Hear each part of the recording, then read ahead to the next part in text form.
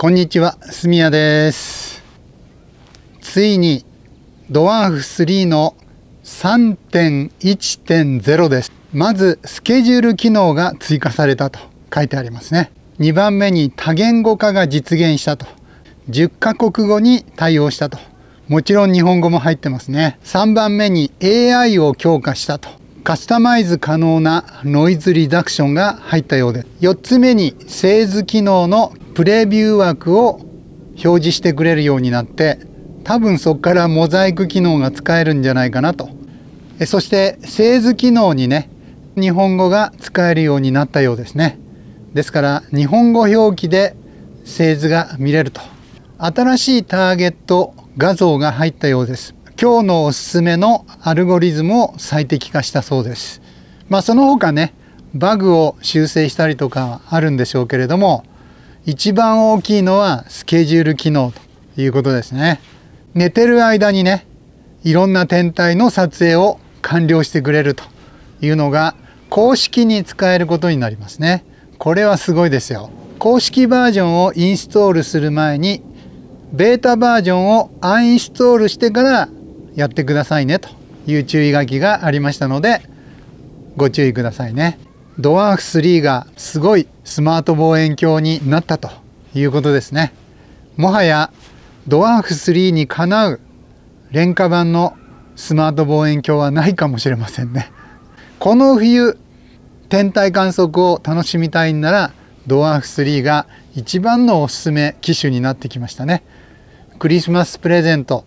あるいはお年玉を貯めて子供たちが買うスマート望遠鏡。ちょっと無理か。になるかもしれませんね。はい。それから昨日ですね双子座流星群ライブをやりました。まあ、使ったメインの機種はソニーの α7S なんですけれども、まあ、横でね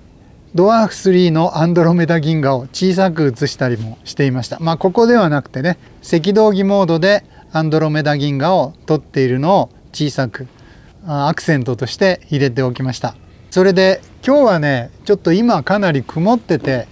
夕日のところだけちょっと赤いんですけれどもこのあとすぐにはね双子座流星群ライブはできそうにないんですが今夜がピークなんですけれども一番のピークは明日の明け方ですよね。ですからちょっと今は曇っていますが深夜になればね晴れてくる予報もありますのでちょっと遅い時間から始めたいと思います。はい。今夜の双子座流星群ライブは10時ぐらいから始めますのでぜひお越しください。今日は金曜日ですのでね少しぐらい夜更かししても大丈夫かと思いますので朝まで双子座流星群ライブでお楽しみいただければというふうに思います。それから昨日の双子座流星群ライブのダイジェスト版も作りましたがやはりねすごいですね双子座流星群。23分に1個ずつぐらいねこの 55mm のねレンズでも入ってくるわけですから肉眼で見えるかどうかはともかくとしてね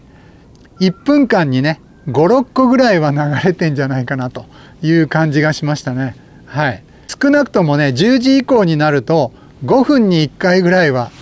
流星群入ってましたね。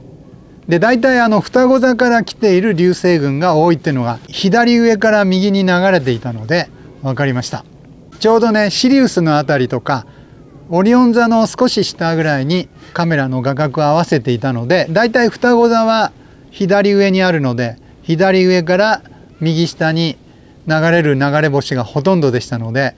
17連発作りましたけれども実際はもっと流れてるんですね。ちょっと寝落ちしてねパソコンの画面を見てない時間があったりとかそれからいろんな方がね見てくれていた時はそちらを頼りにしていたんですけれども私一人で見てるとね見逃す流れ星もいっぱいあったと思うので実際にはねすごい勢いで流れてたんじゃないかなと思います。今夜晴れている